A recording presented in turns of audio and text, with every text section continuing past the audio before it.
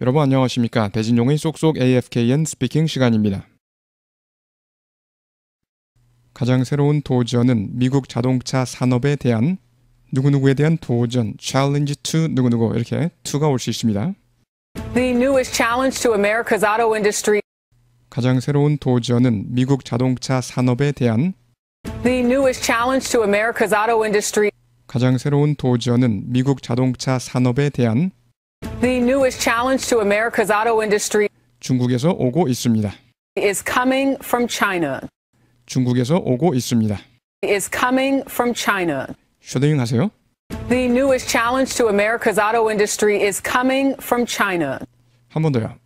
The newest challenge to America's auto industry is coming from China. 숫자는 중국의 자동차 수출 규모는 The number of Chinese auto exports 숫자는 중국의 자동차 수출 규모는 The number of Chinese auto exports 숫자는 중국의 자동차 수출 규모는 The number of Chinese auto exports 급증했습니다. 50% 이상. 증가하다는 increase도 가능하겠지만 이렇게 급증할 경우에 jump라는 동사를 잘 씁니다.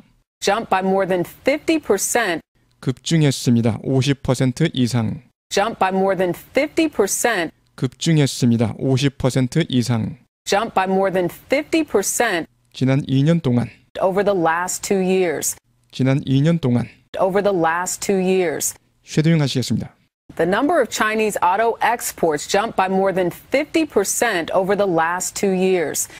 한 번 더요.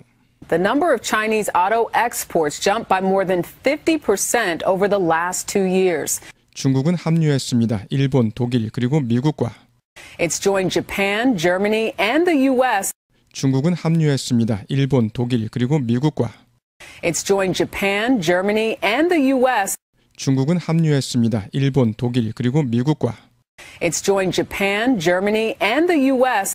하나로서 세계 최대의 자동차 수출국 중 하나로서 as one of the world's largest vehicle exporters. 하나로서 세계 최대의 자동차 수출국 중 하나로서 As one of the world's largest vehicle exporters. 하나로서 세계 최대의 자동차 수출국 중 하나로서 As one of the world's largest vehicle exporters. 자 그래서 일본, 독일 그리고 미국과 함께 세계 최대 자동차 수출국 중 하나가 되었습니다. 이런 의미가 되겠습니다. 쉐도잉이요. It's joined Japan, Germany, and the U.S. as one of the world's largest vehicle exporters. 한 번 더요. It's joined Japan, Germany, and the U.S. as one of the world's largest vehicle exporters. CBS의 엘리자베스 파머가 우리에게 보여줍니다. CBS's Elizabeth Palmer shows us. CBS's Elizabeth Palmer shows us. CBS's Elizabeth Palmer shows us 우리가 곧 운전하게 될 것이라는 것을 중국산 자동차를 뭐뭐라는 것을 이럴 때 how를 쓸 수 있다고 해설 강의 때 해드렸습니다. how we could soon be driving vehicles made in China. 우리가 곧 운전하게 될 것이라는 것을 중국산 자동차를 How we could soon be driving vehicles made in China. 우리가 곧 운전하게 될 것이라는 것을 중국산 자동차를 How we could soon be driving vehicles made in China. 쉐도잉 하시겠습니다. CBS's Elizabeth Palmer shows us how we could soon be driving vehicles made in China. 한 번 더요. CBS's Elizabeth Palmer shows us how we could soon be driving vehicles made in China. 상하이 최초의 오토쇼는 제로 코비드 종식 후 Shanghai's first auto show since the end of zero COVID. 상하이 최초의 오토쇼는 제로 코비드 종식 후 Shanghai's first auto show since the end of zero COVID. 상하이 최초의 오토쇼는 제로 코비드 종식 후 Shanghai's first auto show since the end of zero COVID 제공했습니다. 미래를 엿볼 수 있는 기회를 offered a glimpse of the future. 제공했습니다. 미래를 엿볼 수 있는 기회를 Offered a glimpse of the future. 제공했습니다. 미래를 엿볼 수 있는 기회를 Offered a glimpse of the future. 쉐도잉이요. Shanghai's first auto show since the end of zero COVID offered a glimpse of the future. 한 번 더요. Shanghai's first auto show since the end of zero COVID offered a glimpse of the future. 이곳의 거의 모든 차들은 하이브리드이거나 전기차였습니다. Almost every car here was either hybrid or electric. 이곳의 거의 모든 차들은 하이브리드이거나 전기차였습니다. Almost every car here was either hybrid or electric. 이곳의 거의 모든 차들은 하이브리드이거나 전기차였습니다. Almost every car here was either hybrid or electric. 중국의 스타트업에서 기성 플레이어에 이르기까지 BYD와 같은 From Chinese startups to established players like BYD. 중국의 스타트업에서 기성 플레이어에 이르기까지 BYD와 같은 From Chinese startups to established players like BYD. 중국의 스타트업에서 기성 플레이어에 이르기까지 BYD와 같은 From Chinese startups to established players like BYD. 세계 전기 자동차 제조업체 중 하나인 BYD, One of the largest EV makers in the world. 세계 전기 자동차 제조업체 중 하나인 BYD, One of the largest EV makers in the world. 세계 전기 자동차 제조업체 중 하나인 BYD, One of the largest EV makers in the world. 전통적인 미국 브랜드에 이르기까지 말입니다. To legacy American brands. 전통적인 미국 브랜드에 이르기까지 말입니다. To legacy American brands. 전통적인 미국 브랜드에 이르기까지 말입니다. To legacy American brands. 쉐도잉 하시겠습니다. Almost every car here was either hybrid or electric, from Chinese startups to established players like BYD, one of the largest EV makers in the world, to legacy American brands. 한 번 더요. Almost every car here was either hybrid or electric, from Chinese startups to established players like BYD, one of the largest EV makers in the world, to legacy American brands. 한 번 더 하시겠습니다.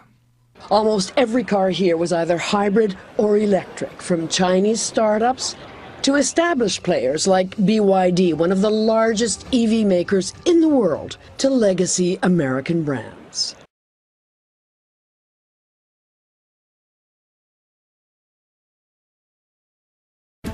Newest challenge to America's auto industry. The newest challenge to America's auto industry. The newest challenge to America's auto industry is coming from China. Is coming from China. The newest challenge to America's auto industry is coming from China. The newest challenge to America's auto industry is coming from China. The number of Chinese auto exports, the number of Chinese auto exports the number of Chinese auto exports jumped by more than 50%, jumped by more than 50%, jumped by more than 50% over the last two years. Over the last two years. The number of Chinese auto exports jumped by more than 50% over the last two years. The number of Chinese auto exports jumped by more than 50% over the last two years. It's joined Japan, Germany, and the U.S. It's joined Japan, Germany, and the U.S. It's joined Japan, Germany, and the U.S. as one of the world's largest vehicle exporters. As one of the world's largest vehicle exporters. As one of the world's largest vehicle exporters. It's joined Japan, Germany, and the U.S. as one of the world's largest vehicle exporters. It's joined Japan, Germany, and the U.S. as one of the world's largest vehicle exporters. CBS's Elizabeth Palmer shows us. CBS's Elizabeth Palmer shows us. CBS's Elizabeth Palmer shows us how we could soon be driving vehicles made in China. How we could soon be driving vehicles made in China. How we could soon be driving vehicles made in China. CBS's Elizabeth Palmer shows us how we could soon be driving vehicles made in China. CBS's Elizabeth Palmer shows us how we could soon be driving vehicles made in China. The newest challenge to America's auto industry is coming from China. The number of Chinese auto exports jumped by more than 50% over the last two years. It's joined Japan, Germany, and the U.S. as one of the world's largest vehicle exporters. CBS's Elizabeth Palmer shows us how we could soon be driving vehicles made in China. Shanghai's first auto show since the end of zero COVID. Shanghai's first auto show since the end of zero COVID. Shanghai's first auto show since the end of zero COVID offered a glimpse of the future. Offered a glimpse of the future. Offered a glimpse of the future. Offered a glimpse of the future. Shanghai's first auto show since the end of zero COVID offered a glimpse of the future Shanghai's first auto show since the end of zero COVID offered a glimpse of the future. Almost every car here was either hybrid or electric. Almost every car here was either hybrid or electric.